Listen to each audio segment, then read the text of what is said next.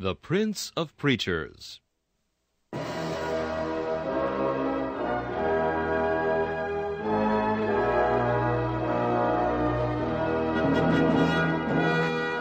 Charles Haddon Spurgeon has been called England's greatest contribution to the spread of the gospel in the 19th century. One of his contemporaries said that the chief secret of Spurgeon's attractiveness was the fact that, in every sermon, no matter what the text or the occasion, he explained the way of salvation in simple terms. Spurgeon's messages remain one of the great treasure houses of Christian literature, still bringing the light of the gospel and the comfort of the scriptures to hungry souls long after the preacher has passed into glory. This is Charles Kelsch inviting you to listen to a message from the Prince of Preachers.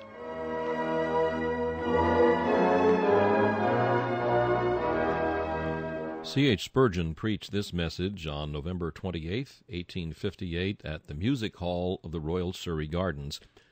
It is entitled Satan's Banquet. The text is found in John chapter 2, verses 9 and 10. The governor of the feast called the bridegroom, and said unto him, Every man at the beginning doth set forth good wine, and when men have well drunk, then that which is worse. But thou hast kept the good wine until now. The governor of the feast said more than he intended to say, or rather, there is more truth in what he said than he himself imagined. This is the established rule all the world over the good wine first, and when men have well drunk, then that which is worse. It is the rule with men, and have not hundreds of disappointed hearts bewailed it? Friendship first, the oily tongue, the words softer than butter, and afterwards the drawn sword. Ahithophel first presents the lordly dish of love and kindness to David, then afterwards that which is worse, for he forsakes his master and becomes the counselor of his rebel son. Judas presents first the dish of fair speech and of kindness. The Saviour partook thereof. He walked to the house of God in company with him, and took sweet counsel with him. But afterwards there came the dregs of the wine. He that eateth bread with me hath lifted up his heel against me. Judas the thief betrayed his master, bringing forth afterwards that which is worse. You have found it so with many whom ye thought your friends. In the heyday of prosperity, when the sun was shining, and the birds were singing, and all was fair and gay and cheerful with you, they brought forth the good wine. But there came a chilling frost, and nipped your flowers, and the leaves fell from the trees, and your streams were frosted with the ice. And then they brought forth that which is worse. They forsook you and fled. They left you in your hour of peril, and taught you that great truth, that cursed is he that trusteth in man, and maketh flesh his arm. And this is the way the world over. I say it once again, not merely with men, but with nature too. Alas for us, if thou were all, and not beyond, O earth! For doth not this world serve us just the same? In our youth it brings forth the best wine. Then we have the sparkling eye, and the ear attuned to music. Then the blood flows swiftly through the veins, and the pulse beats joyously. But wait a while, and there shall come forth afterwards that which is worse. For the keepers of the house shall tremble, and the strong men shall bow themselves. The grinders shall fail, because they are few. They that look out of the windows shall be darkened. All the daughters of music shall be brought low. Then shall the strong man totter. The grasshopper shall be a burden, and desire shall fail. The mourners shall go about the streets. First there is the flowing cup of youth, and afterwards the stagnant waters of old age unless God shall cast into those dregs a fresh flood of his loving kindness and tender mercy, so that once again, as it always happeneth to the Christian, the cup shall run over, and again sparkle with delight.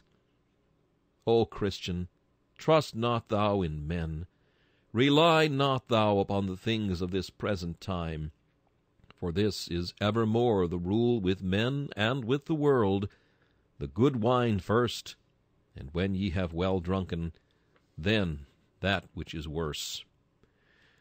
This morning, however, I am about to introduce you to two houses of feasting. First, I shall bid you look within the doors of the devil's house, and you will find he is true to this rule. He brings forth first the good wine, and when men have well drunk, and their brains are muddled therewith, then he bringeth forth that which is worse. Having bidden you to look there and tremble, and take heed to the warning, I shall then attempt to enter with you into the banqueting house of our beloved Lord and Master Jesus Christ, and of him we shall be able to say, as the governor of the feast said to the bridegroom, Thou hast kept the good wine until now. Thy feasts grow better and not worse. Thy wines grow richer, thy viands are daintier far, and thy gifts more precious than before. Thou hast kept the good wine until now. First, we are to take a warning glance at the house of feasting which Satan hath builded. For as wisdom hath builded her house, and hewn out her seven pillars, so hath folly its temple and its tavern of feasting, into which it continually tempts the unwary. Look within the banqueting house, and I will show you four tables, and the guests that sit thereat. And as you look at those tables, you shall see the courses brought in. You shall see the wine cups brought, and you shall see them vanish one after another.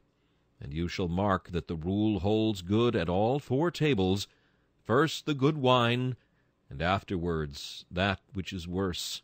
Yea, I shall go further, afterwards that which is worst of all. At the first table to which I shall invite your attention, though I beseech you never to sit down and drink thereat, sit the profligate. The table of the profligate is a gay table. It is covered over with a gaudy crimson, and all the vessels upon it look exceedingly bright and glistening. Many there be that sit thereat, but they know not that they are the guests of hell, and that the end of all the feast shall be in the depths of perdition. See ye now the great governor of the feast as he comes in? He has a bland smile upon his face. His garments are not black, but he is girded with a robe of many colors.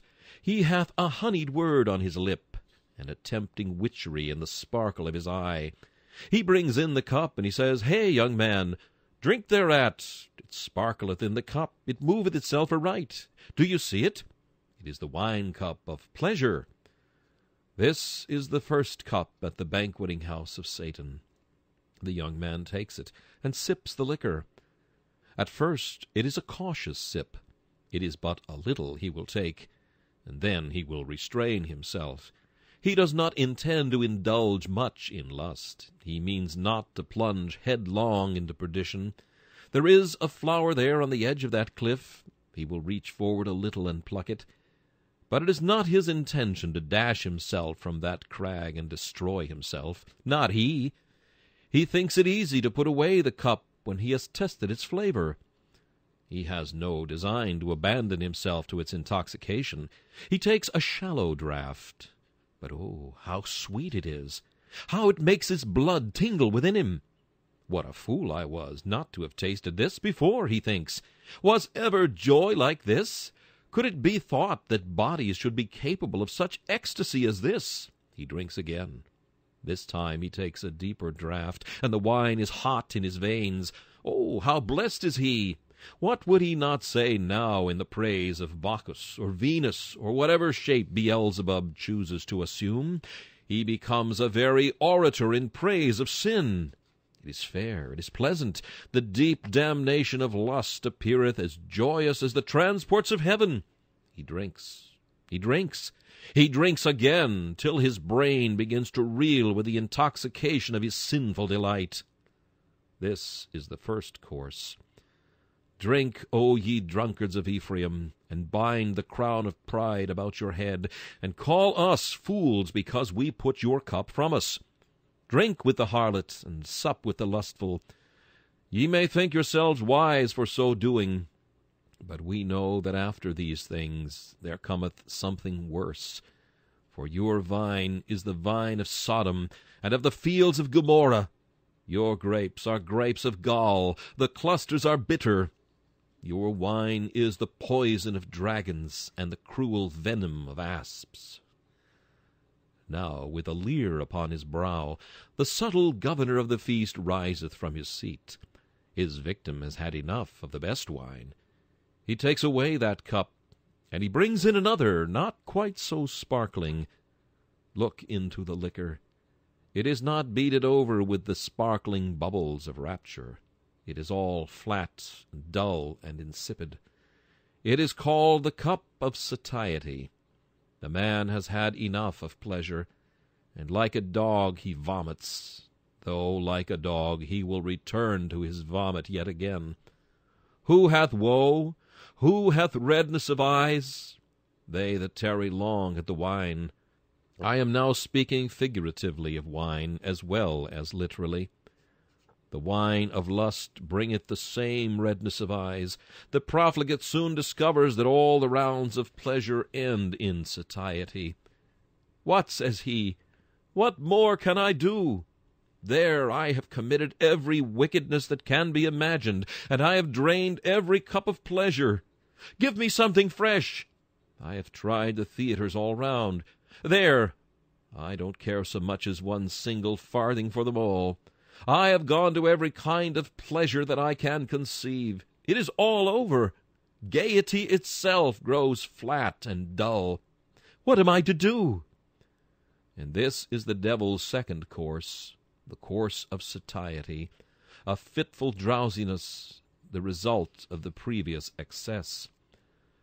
Thousands there are who are drinking of the tasteless cup of satiety every day and some novel invention whereby they may kill time, some new discovery whereby they may give a fresh vent to their iniquity, would be a wonderful thing to them. And if some man should rise up who could find out for them some new fashion of wickedness, some deeper depths in the deeps of the nethermost hell of lasciviousness, they would bless his name for having given them something fresh to excite them. That is the devil's second course. And do you see them partaking of it?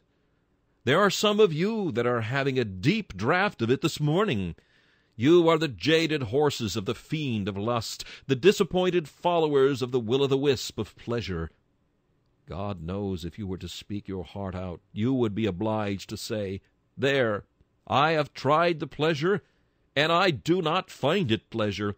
I have gone the round, and I am just like the blind horse at the mill. I have to go round again. I am spellbound to the sin, but I cannot take delight in it now as I once did, for all the glory of it is as a fading flower, and as the hasty fruit before the summer. A while the feaster remains in the putrid sea of his infatuation, but another scene is opening. The governor of the feast commandeth another liquor to be broached. This time the fiend bears a black goblet, and he presents it with eyes full of hell fire, flashing with fierce damnation. Drink of that, sir, says he, and the man sips it, and starts back, and shrieks, O God, that ever I must come to this! You must drink, sir. He that quaffs the first cup must drink the second, and the third. Drink, though it be like fire down your throat. Drink it, though it be as the lava of Etna in your bowels. Drink, you must drink. He that sins must suffer. He that is a profligate in his youth must have rottenness in his bones, and disease within his loins. He who rebels against the laws of God must reap the harvest in his own body here. Oh, there are some dreadful things that I might tell you of this third course. Satan's house has a front chamber full of everything that is enticing to the eye and bewitching to the sensual taste. But there is a back chamber, and no one knoweth, no one hath seen the whole of its horrors. There is a secret chamber where he shovels out the creatures whom he himself destroyed, a chamber beneath whose floor is the blazing of hell, and above whose boards the heat of that horrible pit is felt. It may be a physician's place, rather than mine, to tell of the horrors that some have had to suffer as a result of their iniquity. I leave that. But let me tell the profligate spendthrift that the poverty which he will endure is the result of his sin of extravagance. Let him know also that the remorse of conscience that will overtake him is not an accidental thing that drops by chance from heaven. It is the result of his own iniquity. For depend upon it, men and brethren, sin carries an infant misery in its bowels, and sooner or later it must be delivered of its terrible child. If we sow the seed, we must reap the harvest. Thus the law of hell's house stands. First the good wine, then afterwards that which is worse. The last course remains to be presented. And now, ye strong men who mock at the warning, which I would fain deliver to you with a brother's voice, and with an affectionate heart, though with rough language, come ye here, and drink of this last cup. The sinner has at the end brought himself to the grave. His hopes and joys were like gold put into a bag full of holes. They have all vanished, vanished forever. And now he has come to the last. His sins haunt him, his transgressions perplex him. He is taken like a bull in a net, and how shall he escape? He dies, and descends from disease to damnation. Shall mortal language attempt to tell you the horrors of that last tremendous cup of which the profligate must drink, and drink forever? Look at it. Ye cannot see its depths cast an eye upon its seething surface, I hear the noise of rushing to and fro, and a sound as of a gnashing of teeth, and the wailing of despairing souls. I look into that cup, and I hear a voice coming up from its depths. These shall go away into everlasting punishment. For Tophet is prepared of old, the pile thereof is wood and much smoke. The breath of the Lord, like a stream of brimstone, shall kindle it. And what say ye to this last course of Satan? Who among us shall dwell with the devouring fire? Who among us shall dwell with everlasting burnings? Profligate, I beseech thee, in the name of God, start from this table. Oh, be not so careless at thy cups. Be not so asleep secure in the peace which thou now enjoyest? Man, death is at the door, and at his heels is swift destruction. As for you, who as yet have been restrained by a careful father, and the watchfulness of an anxious mother, I beseech you, shun the house of sin and folly. Let the wise man's words be written on thine heart, and be thou mindful of them in the hour of temptation. Remove thy way far from her, and come not nigh to the door of her house. For the lips of a strange woman drop as in honeycomb, and her mouth is smoother than oil. But her end is bitter as wormwood, sharp as a two-edged sword. Her feet go down to death, her steps take hold on hell. Do you see that other table yonder in the middle of the palace? Ah, good easy souls! Many of you had thought that you never went to the feast of hell at all. But there is a table for you, too. It is covered over with a fair white cloth, and all the vessels upon the table are most clean and comely. The wine looks not like the wine of Gomorrah. It moveth aright, like the wine from the grapes of Eshcol. It seems to have no intoxication in it. It is like the ancient wine which they pressed from the grape into the cup, having in it no deadly poison. Do you see the men who sit at this table? How self-contented they are! Ask the white fiends who wait at it, and they will tell you. This is the table of the self-righteous. The Pharisee sits there. You may know him. He has his phylactery between his eyes. The hem of his garment is made exceeding broad. He is one of the best of the best professors. Ah, saith Satan, as he draws the curtain and shuts off the table where the profligates are carousing, be quiet. Don't make too much noise, lest these sanctimonious hypocrites should guess what company they are in. Those self-righteous people are my guests quite as much as you, and I have them quite as safely. So Satan, like an angel of light, brings forth a gilded goblet, looking like the chalice of the table of communion. And what wine is that? It seems to be the very wine of the sacred Eucharist. It is called the wine of self-satisfaction, and around the brim you may see the bubbles of pride. Look at the swelling froth upon the bowl. God, I thank thee that I am not as other men are, extortioners, unjust, adulterers, or even as this publican. You know that cup, my self-deceiving hearers. Oh, that ye knew the deadly hemlock which is mixed therein! Sin as other men do? Not you, not at all. You are not going to submit yourself to the righteousness of Christ. What need you? You are as good as your neighbors. If you are not saved, you ought to be, you think. Don't you pay everybody twenty shillings in the pound? Did you ever rob anybody in your life? You do your neighbors a good turn. You are as good as other people. Very good. That is the first cup the devil gives. And the good wine makes you swell with self-important dignity as its fumes enter your heart and puff it up with an accursed pride. Yes, I see you sitting in the room so cleanly swept and so neatly garnished, and I see the crowds of your admirers standing around the table, even many of God's own children, who say, Oh, that I were half as good as he! While the very humility of the righteous provides you with provender for your pride. Wait a while, thou unctuous hypocrite, wait a while, for there is a second course to come. Satan looks with quite as self-satisfied an air upon his guests this time as he did upon the troop of rioters. Ah, says he, I cheated those gay fellows with a cup of pleasure.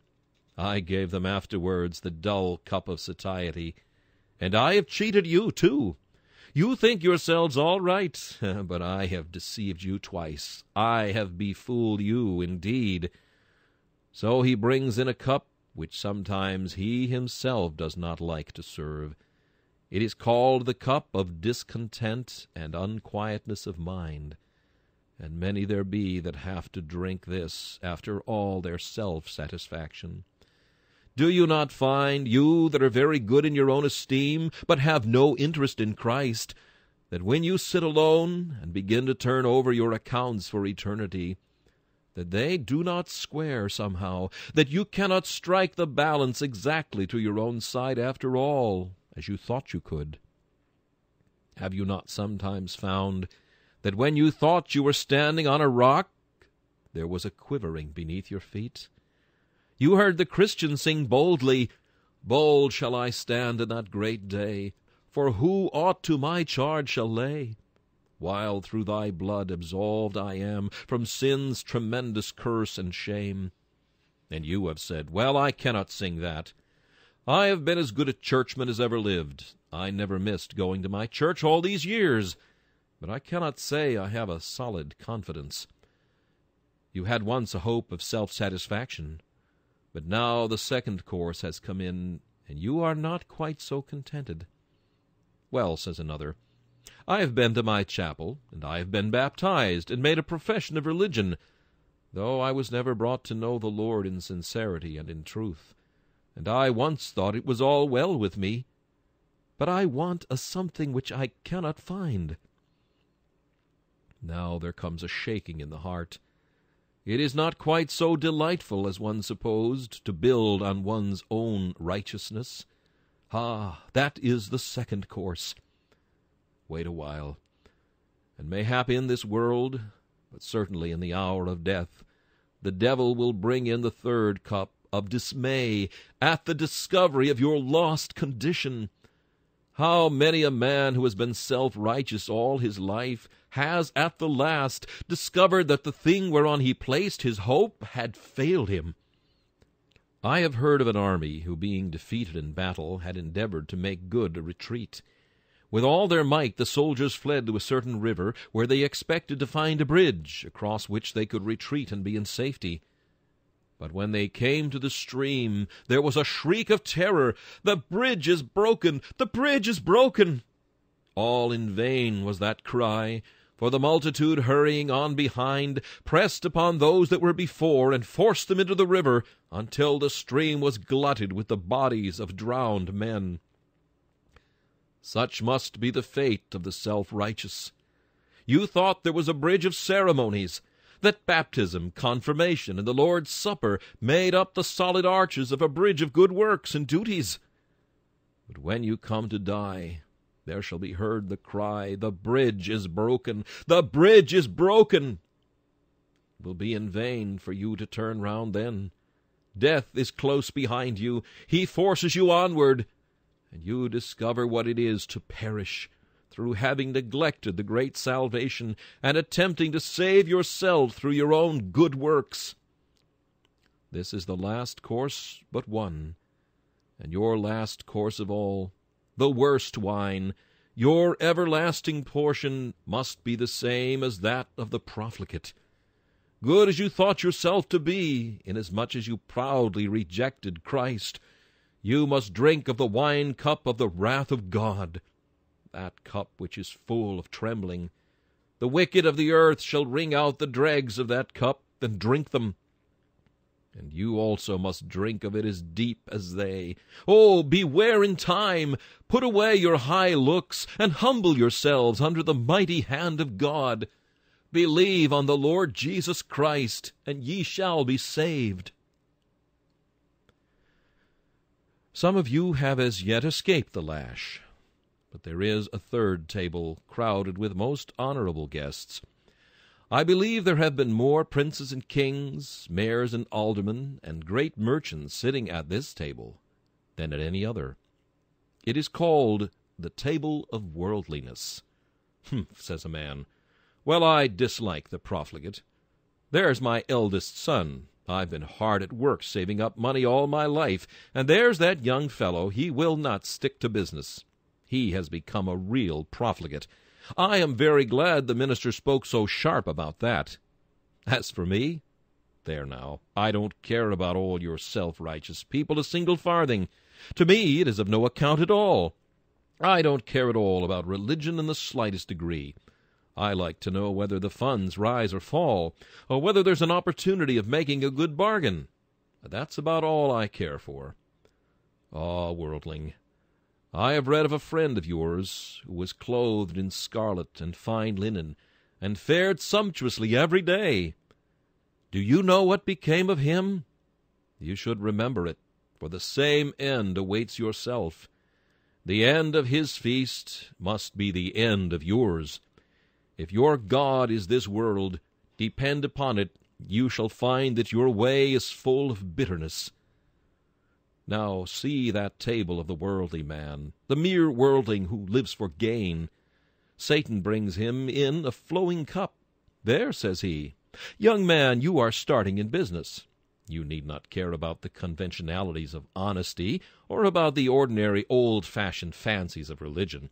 Get rich as quick as ever you can. Get money. Get money. Honestly, if you can. But if not, get it anyhow, says the devil, and down he puts his tankard. There, says he, is a foaming draught for you. Yes, says the young man, I have abundance now. My hopes are indeed realized.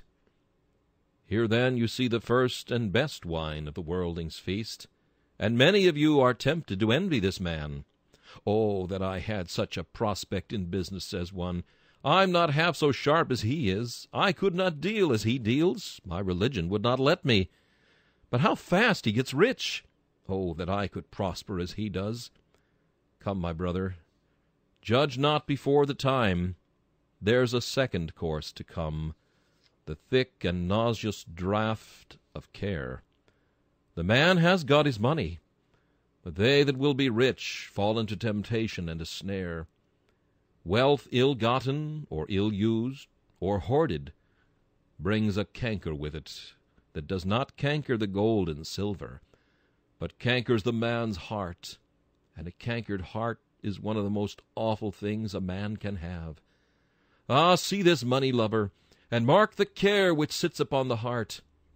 There is a poor old woman that lives near his lodge gate. She has but a pittance a week, but she says, Bless the Lord, I have enough. She never asks how she is to live, or how she is to die, or how she is to be buried, but sleeps sweetly on the pillow of contentment and faith.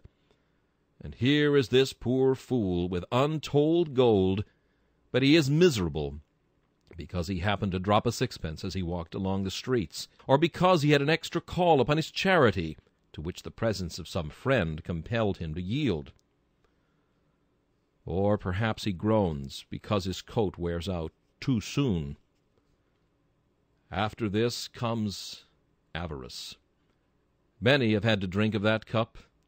May God save us from its fiery drops. A great American preacher has said, Covetousness breeds misery. The sight of houses better than our own, of dress beyond our means, of jewels costlier than we may wear, of stately equipage and rare curiosities beyond our reach, these hatch the viper brood of covetous thoughts, vexing the poor who would be rich, tormenting the rich who would be richer. The covetous man pines to see pleasure, is sad in the presence of cheerfulness. The joy of the world is his sorrow, because all the happiness of others is not his. I do not wonder that God abhors him. He inspects his heart as he would a cave full of noisome birds, or a nest of rattling reptiles, and loathes the sight of its crawling tenants. To the covetous man, life is a nightmare, and God lets him wrestle with it as best he may. Mammon might build its palace on such a heart, and pleasure bring all its revelry there, honor all its garlands.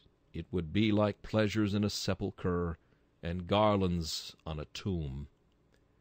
When a man becomes avaricious, all he has is nothing to him.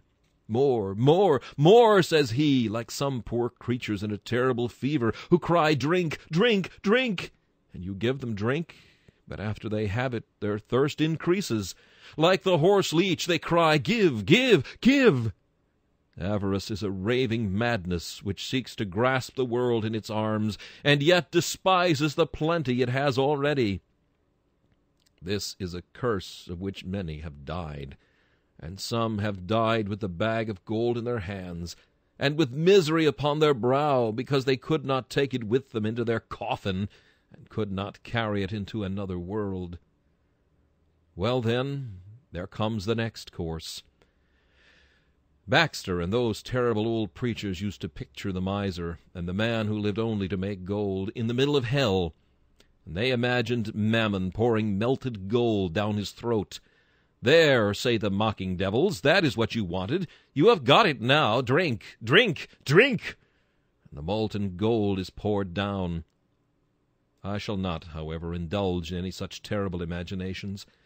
But this much I know, that he that liveth to himself here must perish. He who sets his affections upon the things on earth hath not digged deep. He hath built his house upon the sands. And when the rain descends and the floods come, down must come his house, and great must be the fall thereof. It is the best wine first, however. It is the respectable man, respectable and respected. Everybody honors him. And afterwards, that which is worse, when meanness has beggared his wealth, and covetousness has maddened his brain, it is sure to come, as sure as ever you give yourself up to worldliness. The fourth table is set in a very secluded corner, in a very private part of Satan's palace. There is the table set for secret sinners, and here the old rule is observed. At that table, in a room well darkened, I see a young man sitting today, and Satan is the servitor stepping in so noiselessly that no one would hear him. He brings in the first cup, and oh, how sweet it is! It is the cup of secret sin. Stolen waters are sweet, and bread eaten in secret is pleasant. How sweet that morsel, eaten all alone! Was there ever one that rolled so delicately under the tongue? That is the first. After that he brings in another, the wine of an unquiet conscience. The man's eyes are opened. He says, What have I done? What have I been doing? Ah, cries this Achan, the first cup you brought me I saw sparkling in that a wedge of gold, and a goodly Babylonish garment, and I thought, oh, I must have that. But now my thought is, what shall I do to hide this? Where shall I put it? I must dig. Ay, I must dig deep as hell before I shall hide it, for sure enough it will be discovered. The grim governor of the feast is bringing in a massive bowl, filled with a black mixture the secret sinner drinks and is confounded. He fears his sin will find him out. He has no peace, no happiness. He is full of uneasy fear. He is afraid that he shall be detected. He dreams at night that there is someone after him, that there is a voice whispering in his ear and telling him, I know all about it. I will tell it. He thinks perhaps that the sin which he has committed in secret will break out to his friends. The father will know it, the mother will know it. Ay, it may be even the physician will tell the tale and blab out the wretched secret. For such a man there is no rest. He is always in dread of arrest. He is like the debtor I have read of, who, owing a great deal of money, was afraid the bailiffs were after him and happening one day to catch his sleeve on the top of a palisade, said, There, let me go. I'm in a hurry. I will pay you tomorrow, imagining that someone was laying hold of him. Such is the position in which the man places himself by partaking of the hidden things of dishonesty and sin. Thus he finds no rest for the sole of his foot for fear of discovery. At last the discovery comes. It is the last cup. Often it comes on earth, for be sure your sin will find you out, and it will generally find you out here. What frightful exhibitions are to be seen at our police courts of men that are made to drink that last black draught of discovery, the man who presided at religious meetings, the man who was honored as a saint, is at last unmasked and what says the judge? And what says the world of him? He is a jest, and a reproach, and a rebuke everywhere. But suppose he should be so crafty that he passes through life without discovery, though I think it is almost impossible. What a cup he must drink when he stands at last before the bar of God! Bring him forth, jailer! Dread keeper of the dungeon of hell, lead forth the prisoner! He comes. The whole world is assembled. Stand up, sir. Did you not make a profession of religion? Did not everybody think you a saint? He is speechless. But many there are in that vast crowd who cry, We thought him so. The book is open. His deeds are read. Transgression after transgression, all laid bare. Do you hear that hiss? The righteous, moved to indignation, are lifting up their voices against the man who deceived them and dwelt among them as a wolf in sheep's clothing. Oh, how fearful it must be to bear the scorn of the universe! The good can bear the scorn of the wicked, but for the wicked to bear the shame and everlasting contempt which righteous indignation will heap upon them will be one of the most frightful things next to the eternal endurance of the wrath of the Most High, which, I need not add, is the last cup of the devil's terrible feast, with which the secret sinner must be filled forever and ever. I pause now, but it is just to gather up my strength to beg that anything I may have said that shall have had the slightest personal bearing upon any of my hearers may not be forgotten, I beseech you, men and brethren, if now you are eating the fat and drinking the sweet of hell's banquet, pause and reflect what shall the end be. He that soweth to the flesh shall of the flesh reap corruption. He that soweth to the Spirit shall of the Spirit reap life everlasting. I cannot spare more time for that, most assuredly.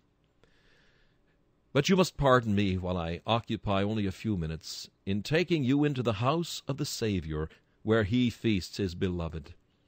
Come and sit with us at Christ's table of outward providences. He does not feast his children after the fashion of the prince of darkness. For the first cup that Christ brings to them is very often a cup of bitterness. There are his own beloved children, his own redeemed, who have but sorry cheer. Jesus brings in the cup of poverty and affliction, and he makes his own children drink of it, till they say, Thou hast made me drunken with wormwood, and thou hast filled me with bitterness. This is the way Christ begins, the worst wine first. When the sergeant begins with a young recruit, he first gives him a shilling, and then afterwards come the march and the battle. But Christ never takes his recruits so. They must count the cost, lest they should begin to build and not be able to finish. He seeks to have no disciples who are dazzled with first appearances.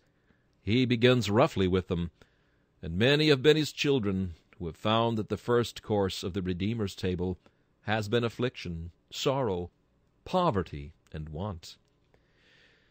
In the olden times, when the best of God's people were at the table, he used to serve them worst for they wandered about in sheepskins and goatskins, being destitute, afflicted, tormented, of whom the world was not worthy. And they kept on drinking of these bitter cups for many a day. But let me tell you afterwards, he brought out sweeter cups for them, and you that have been troubled have found it so. After the cup of affliction comes the cup of consolation, and oh, how sweet is that! It has been the privilege of these lips to drink that cup after sickness and pain. And I can bear witness that I said of my Master, Thou hast kept the best wine until now. It was so luscious that the taste thereof did take away every taste of the bitterness of sorrow. And I said, Surely the bitterness of this sickness is all past, for the Lord has manifested himself to me, and given me his best wine. But, beloved, the best wine is to come last. God's people will find it so outwardly. The poor saint comes to die. The Master has given him the cup of poverty, but now no more he drinks thereof. He is rich to all the intents of bliss. He has had the cup of sickness, he shall drink of that no more. He has had the cup of persecution, but now he is glorified together with his Master, and made to sit upon his throne. The best things have come last to him in outward circumstances. There were two martyrs once burned at Stratford le Bow. One of them was lame, and the other blind.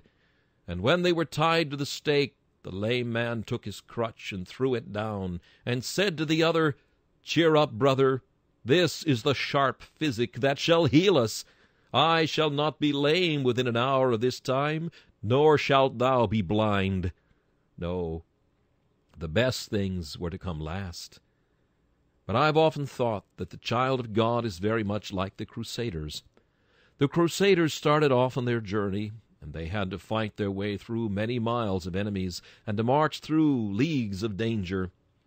You remember perhaps in history the story that when the armies of the Duke of Bouillon came in sight of Jerusalem, they sprang from their horses, clapped their hands, and cried, Jerusalem, Jerusalem, Jerusalem! They forgot all their toils, all the weariness of the journey, and all their wounds, for there was Jerusalem in their sight. And how will the saint at last cry, Jerusalem, Jerusalem, when all sorrow and all poverty and sickness are past, and he is blessed with immortality. The bad wine, bad did I say? Nay, the bitter wine is taken away, and the best wine is brought out, and the saint sees himself glorified forever with Christ Jesus. And now we will sit down at the table of inward experience. The first cup that Christ brings to his children when they sit at that table is one so bitter that perhaps no tongue can ever describe it. It is the cup of conviction. It is a black cup, full of the most intense bitterness. The Apostle Paul once drank a little of it, but it was so strong that it made him blind for three days. The conviction of his sin overpowered him totally. He could only give his soul to fasting and to prayer and it was only when he drank of the next cup that the scales fell from off his eyes. I have drunk of it, children of God, and I thought that Jesus was unkind. But in a little while he brought me forth a sweeter cup, the cup of his forgiving love, filled with the rich crimson of his precious blood. Oh, the taste of that wine is in my mouth this very hour, for the taste thereof is as the wine of Lebanon that abideth in the cask for many a day. Do you not remember when, after you had drunk the cup of sorrow, Jesus came and showed you his hands and his side, and said, Sinner, I have died for thee, and given myself for thee. Believe on me.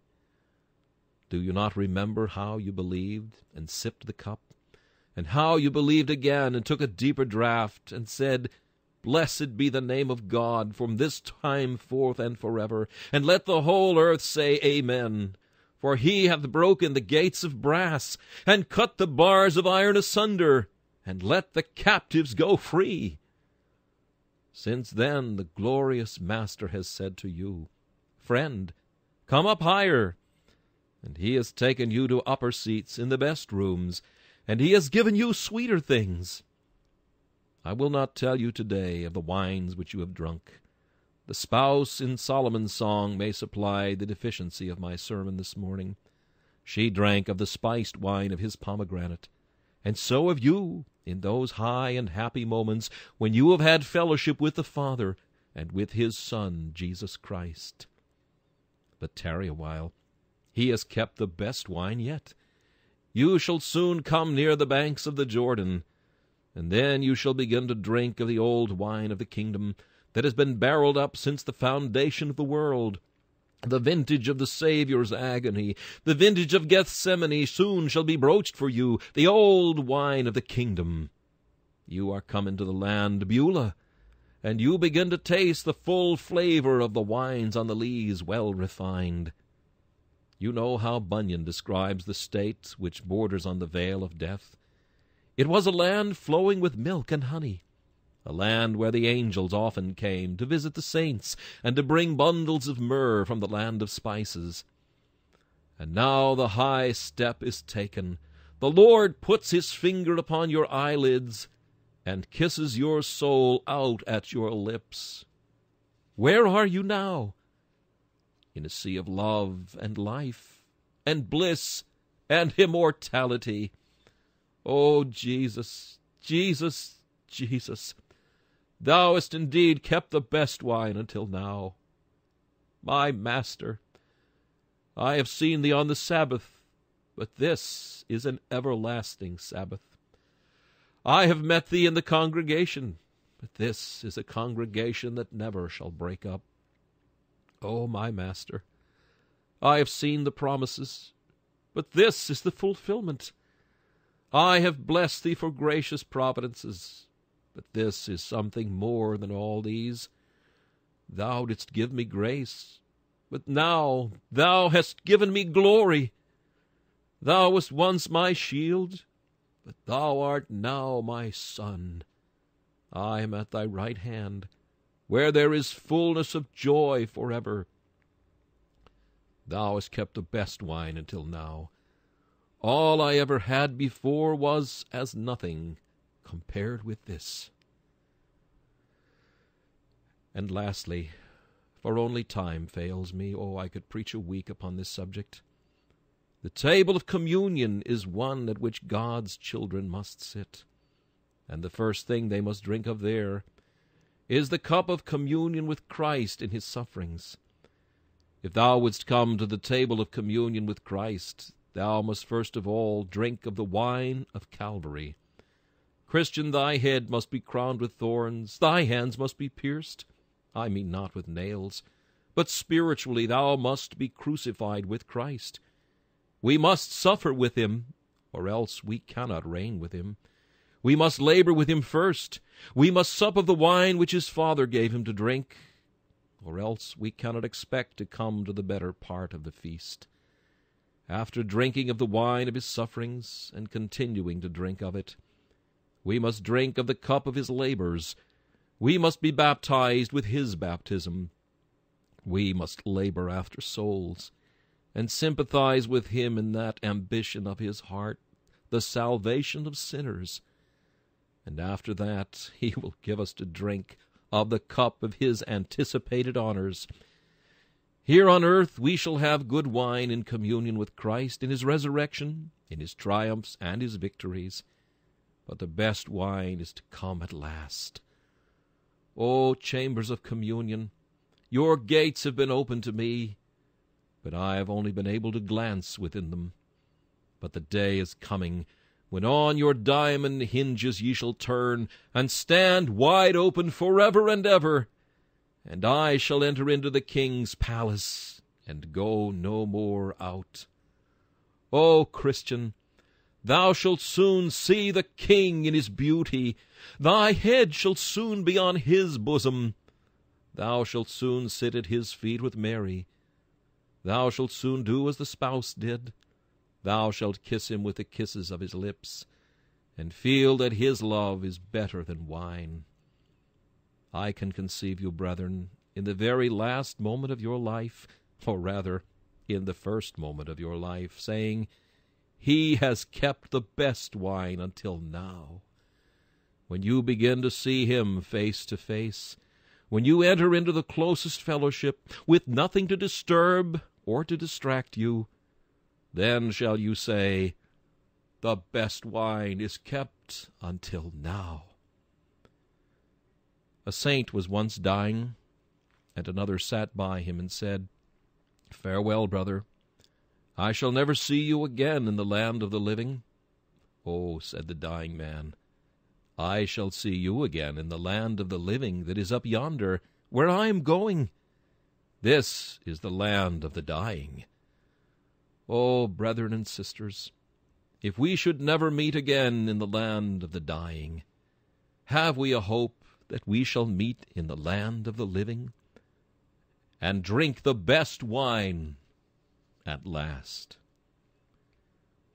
This message, Satan's Banquet, was preached by Charles Haddon Spurgeon on November 28, 1858.